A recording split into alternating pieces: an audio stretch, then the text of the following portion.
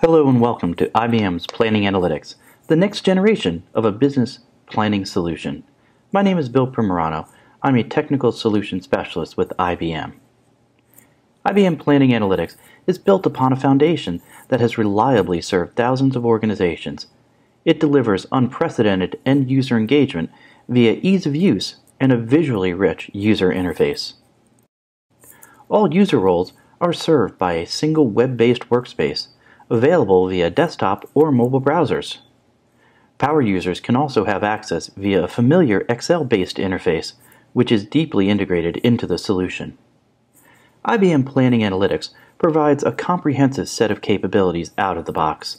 These capabilities include planning, dashboards, drag and drop analysis, scorecards, and reporting. Here is an example of Planning Analytics solving a challenge for a retail organization. This visually rich workspace may be used by an analyst within a retail organization to monitor the performance of the stores. The end user can easily change the visualization. In this example, we are going to change the map to a line and column chart. Notice that when I click on the chart, the other visualizations adjust to show the district selected. Let's drill down on Florida.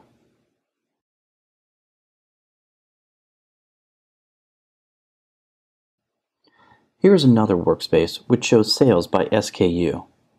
Let's focus in on Florida initially and then play through the districts so that I can review the relative performance by district and spot any trends.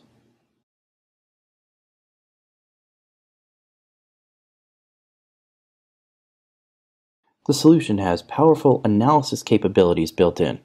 It natively supports multiple views of business structures across each of the business's dimensions. These include alternative, what if, and historical hierarchies, along with attribute based analysis.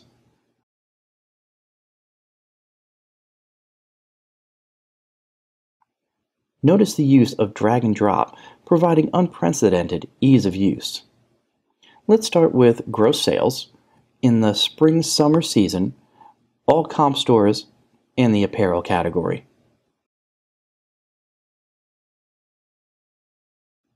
Now, let's look at color by store type.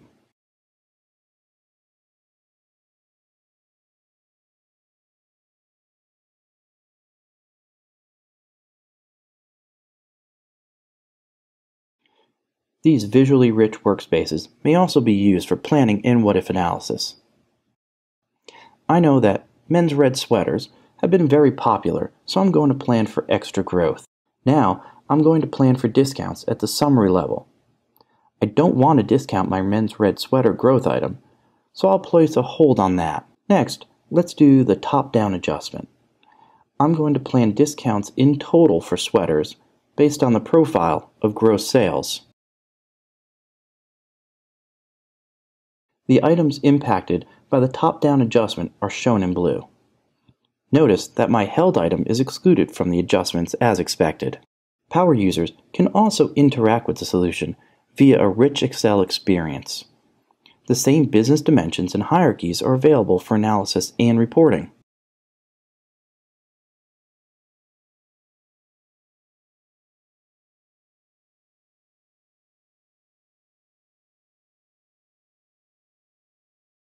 The user can leverage the power of Excel and their existing Excel skills to produce highly formatted reports.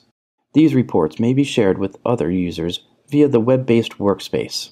Thank you for attending this brief overview of IBM Planning Analytics, the next generation of business planning solutions.